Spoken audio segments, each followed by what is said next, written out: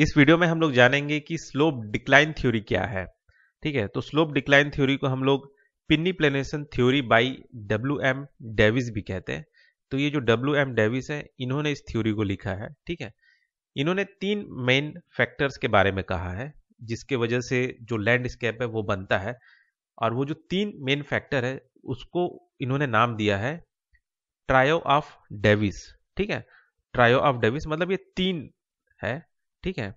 तो ये जो ट्रायो का मतलब होता है स्ट्रक्चर प्रोसेस और टाइम ठीक है? उन्होंने ये लाइन भी कहा था landscape is a function of structure process and time ये जो स्टेटमेंट है ना, ये सबको भी आप याद रखें, क्योंकि ये सब चीज़ भी पूछता है कि ये landscape a function of structure process and time ये क्या है, इससे क्या समझते हो? तो आपको ये स्लोप डिक्लाइन थ्योरी को ही लिखना है, या फिर ट्रायोस ऑफ़ डेविस अगर बोलता है तो भी आपको स्लोप डिक्लाइन थ्योरी ही लिखना है, ठीक है? तो ये हो गया आपका। अब इसमें ये जो है, जैसे ट्रायोस ऑफ़ डेविस है तो इसमें इन्होंने कहा था कि landscape is a function of structure process and time कि कैसे ये जो लैंडस्केप है, ये स्ट्रक्चर प्रोसेस और टाइम पे डिपेंड करता है। ठीक है? इसको याद रखिएगा। तो ये कैसे है? मतलब जैसे ये जो स्ट्रक्चरल कैरेक्टरिस्टिक कैसा है रॉक का, या क्या प्रोसेस हो रहा है कि मतलब वेदरिंग एजेंट कैसा है, या इरोजनल एजेंट कैसा है, या टाइम मतलब समय के साथ क्या चेंजेस आ रहे हैं लैंड फॉर्म में? तो ये सारे मिल के एक लैंडस्केप को फ़ंक्शन कराते हैं, ठीक है? ये उनका कहना है। तो हम समझते हैं कि क्या इनका जो ये साइकिल ऑफ़ इरोजन है, ये जो दिखा रहा है ना इसमें साइकिल ऑफ़ इरोजन ये कैसे मतलब होता है, इसको समझते हैं, ठीक है? एक तरह से ये जो स्लोप डिक्लाइन थ्योरी है, ये जोग्राफिक साइकिल या साइकिल ऑफ़ इरोजन को समझाने के लिए उन्होंने बताया था, ठीक है? मतलब अगर मैं इसका डेफिनेशन बताऊँ कि साइकिल ऑफ़ इरोजन का डेफिनेशन क्या है तो it is a time during which uplift land mass undergo transformation it form featureless flat topography मतलब कोई ज़मीन अगर उठ रहा है तो कुछ समय बाद उसमें कुछ चेंजेस आता है। फिर धीरे धीरे वो एक तरह से फ्लैट टोपोग्राफी में बदल जाता है। तो उसी चीज़ को डब्ल्यू एम डेविस ने कैसे एक्सप्लेन किया है? उसमें क्या साइकिल होता है? कितने स्टेजेस होता है? उस चीज़ को इन्होंने स्लोप डिक्लाइन थ्योरी में एक्सप्लेन किया है। तो चलो उसको समझते हैं। तो इस स्लोप डिक्लाइन थ्योरी को समझने के लिए उन्होंने कुछ एजम्सन बोला कि पहले जैसे इसमें चार एजम्सन उन्होंने बोला। पहला ये कि जो साइकिल ऑफ़ इरोजन है, वो स्टार्ट तभी होगा जब पूरा का पूरा अपलिफ्टमेंट हो जाएगा लैंड मास का। मतलब ज़मीन जब पूरा उठ जाएगा, तभी आपका जो साइकिल ऑफ़ इरोजन है, तभी उसमें इरोजनल एक्टिविटी चालू होगा। जब वो उठता रहेगा उस समय पे इरोजन एक्टिविटी उसमें चालू नहीं होगा ठीक है? तो पहला एजम्पन ये है। दूसरा ये कि ये टाइम डिपेंडेंट मॉडल मॉडल रहेगा। तीसरा ये कि rapid uplift of land mass होगा मतलब ज़मीन बहुत तेज़ी से आ, मतलब उठना चाहिए। चौथा ये रहेगा कि ये जो बेस लेवल है या सी लेवल है उसके नीचे जो है इरोड नहीं होगा ठीक है? रिवर उसके नीचे इस लैंड मास को इरोड नहीं कर सकता। बिलो सी लेवल या below base base level erode नहीं कर सकता, ठीक है? तो ये जो है चार एजम्सन क्या बोलते हैं डब्ल्यू एम डेविस ने बोला, ठीक? तो डब्ल्यू एम डेविस ने इस साइकिल इस जोग्राफिकल साइकिल या साइकिल ऑफ़ इरोजन को समझाने के लिए या इस स्लोप डिक्लाइन थ्योरी को समझाने के लिए तीन स्टेज बताया कि तीन स्टेज में ये जो स्लोप है, वो डिक्लाइन होता है, ठीक है? तो पहला स्टेज होता है आपका यूथ स्टेज ठीक है? तो ये जो आपका स्टेज है, ये आपका हो गया यूथ स्टेज पहले तो क्या हो गया आपका? इसमें क्या होगा कि erosion start after after the completion of upliftment of land mass ठीक? अभी तो देखिए, यहाँ पे तेज़ी से बढ़ गया। अब बढ़ने के बाद में, ठीक है, यहाँ से लेके तो अपलिफ्टमेंट हो गया। अपलिफ्टमेंट होने के बाद में आपका इरोजनल एक्टिविटी चालू होगा। यहाँ पे एजम्पन बोला है है ना? तो अब ये तो अपलिफ्टमेंट हो गया। अब यहाँ पे आपका इरोजनल एक्टिविटी चालू होगा। तो अच्छा तो इसको इसको समझने से पहले इस ग्राफ को मैं आपको कुछ समझा देता हूँ। इस डायग्राम को मैं आपको बता देता हूँ कि इसमें क्या क्या चीज़ दिया हुआ है। पहला चीज़ कि ये जो कर्व दिख रहा है ना ये वाला जो लाइन दिख रहा है जिसमें यूसी करके लिखा हुआ है ये है आपका अपर कर्व अपर कर्व मतलब ये हिल के जो टॉप है उसको दिखा रहा है। हिल का जो टॉप का आ, क्या बोलते हैं लाइन है उसको दिखा रहा है ना?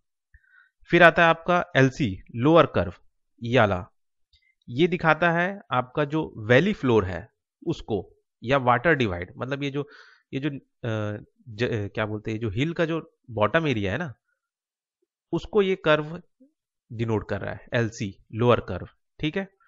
उसके बाद आता है आपका ये जो हॉरिजॉन्टल लाइन है ये टाइम को डिनोट कर रहा है और ये जो है हाइट को डिनोट कर रहा है, वर्टिकल एक्सिस जो है, हाइट को डिनोट कर रहा है, ठीक? उसके बाद जो ए सी है, ये, ए से सी तक जो है, ये आपका एब्सोल्यूट हाइट, ठीक है? या फिर रिलीफ हाइट उसको दिखा रहा है। फिर जो आपका बीसी है, बीसी जो है आपका एक तरह से जो एवरेज हाइट है, या जो, इसको क्या बोलूँ मैं, हिल का जो हाइट है, उसको दिखा रहा है, ठीक? ठीक है? उसके बाद आता है आपका A D G A D G ये एक तरह से आपका है सी लेवल ठीक है? जिसको बेस लेवल भी मैंने कहा था। आया समझ में? ए सी जो है आपका रिलीफ हाइट है या एब्सोल्यूट हाइट ठीक? और ये जो है आपका बीसी जो है हील का हाइट है, ठीक? एब्सोल्यूट हाइट और ये हो गया आपका रिलेटिव हाइट ठीक? अब हो गया। अब जानते हैं इसका यूथ स्टेज पहले स्टेज में क्या होता है?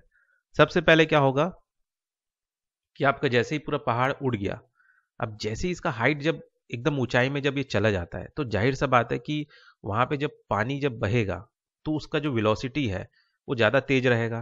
तो तो वो क्या करेगा? एक तरह से वो वर्टिकल इरोजन ज़्यादा करेगा, ठीक है? वर्टिकल इरोजन ज़्यादा करेगा और एक तरह से वी शेप में गड्ढा करना चालू करेगा और गड्ढा करते करते करते करते वो नीचे तक आएगा, ठीक है? तो एक तरह से वी शेप वैली शुरुआत में तेज़ी से फॉर्म करता है। अब इससे क्या होगा कि जो ये आपका एलसी है, जो लोअर कर्व है, वो तेज़ी से ड्रॉप होगा, ठीक है? वो तेज़ी से नीचे गिरेगा। लेकिन जो आपका जो अपर कर्व है, वो कहीं ना कहीं एक तरह से रिमेन सेम रहेगा। वो ज़्यादा उतना नीचे नहीं गिरेगा। जो आपका ये जो हिल का हिल का जो टॉप है ना, ये सेम ही रहेगा लगभग। लेकिन ये जो आपका लोअर कर्व है, वो तेज़ी से घटेगा, ठीक?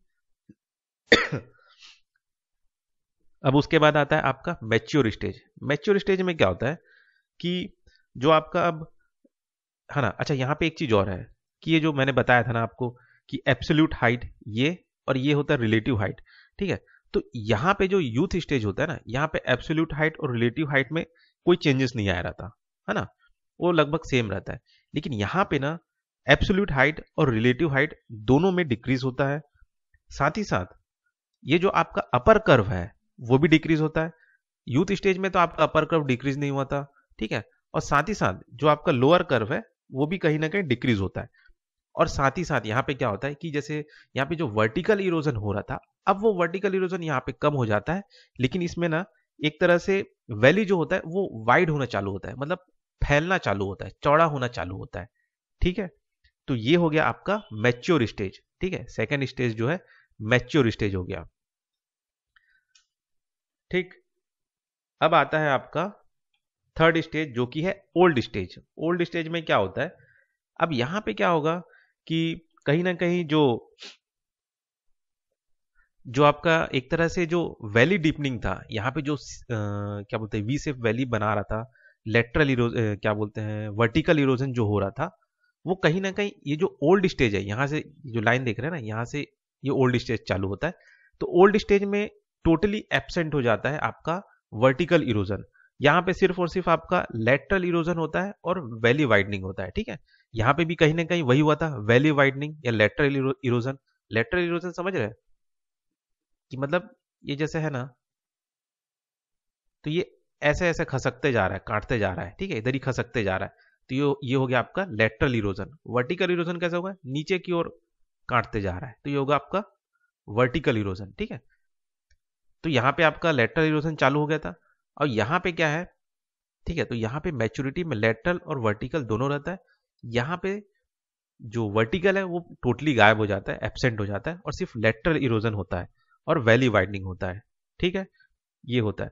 अब आखिरी में जब धीरे धीरे धीरे धीरे सब ऐसी ये जो हिल है, ये धीरे धीरे घटते घटते एक एक तरह से ये फ्लैट फीचरलेस टोपोग्राफी बन जाता है। ठीक है? मतलब फ्लैट लैंड बन जाता है। और यहाँ पे छोटे छोटे से, ऐसे उठे हुए से कुछ हिस्से बन जाते हैं, जिसको हम मियंडर्स कहते हैं या मोनेड नॉक कहते हैं। ठीक है?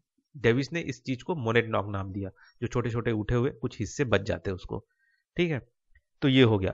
और ये जो बड़ा सा, जो वास्ट एक्सटेंसिव प्लेन एरिया जो आखिरी में बच जाता है, जिसको डेविस ने नाम दिया है peneplain P E N E P L A I N ठीक है?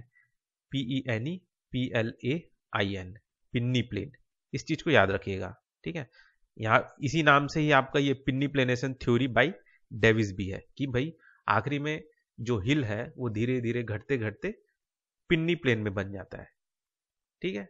मतलब एक तरह से फ्लैट टोपोग्राफी फ्लैट लैंड ठीक है? और जो कुछ कुछ उठा हुआ हिस्सा रहता है उसे हम मोनेट नॉक कहते हैं। तो ये हो गया आपका डेविस का स्लोप डिक्लाइन थ्योरी अब इसके कुछ मेरिट्स और डीमेरिट्स है। पहला चीज़ ये इसका जो डीमेरिट्स है, उसको पहले जान लेते हैं कि ये जैसे इसने कहा कि ये टाइम डिपेंडेंट मॉडल है, ठीक? तो जो बैंक है, जो कि आगे चल के इनके कई सारे चीज़ को गलत साबित करेंगे तो उन्होंने ये कहा कि भाई ये टाइम डिपेंडेंट मॉडल नहीं है, ठीक है? हाँ जैसे इन्होंने कहा कि ये टाइम डिपेंडेंट मॉडल है, बोल रहे हैं डेविस लेकिन बैंक बोलते हैं कि ये टाइम डिपेंडेंट मॉडल नहीं है। दूसरा ये कि इन्होंने सिर्फ़ कुछ स्पेसिफिक क्लाइमेट एरिया के लिए ही ये स्लोप डिक्लाइन थ्योरी दिखाया, ठीक है? और खासकर वो ह्यूमिड एरिया के लिए। बाकी के लिए ये लागू नहीं होता। तो ये इसका एक डिमेरिट है। तीसरा ये होता है कि इन्होंने जो डिपोजिट डिपोजिशनल मॉडल है, उसको एक्सप्लेन नहीं किया। ठीक है, इसने तो इरोजनल एक्टिविटी को तो दिखा दिया, लेकिन जो इकट्ठा होके जो मटेरियल भी तो इकट्ठा कहीं ना कहीं से कुछ हो रहा होगा, उसको तो एक्सप्लेन करना चाहिए। तो इस थ्योरी ने उस चीज़ को एक्सप्लेन नहीं किया। उसके बाद चौथा चीज़ ये आता है कि erosional does not occur till till complete upliftment is ठीक है अपलिफ्टमेंट इज़ रॉन्ग ठीक?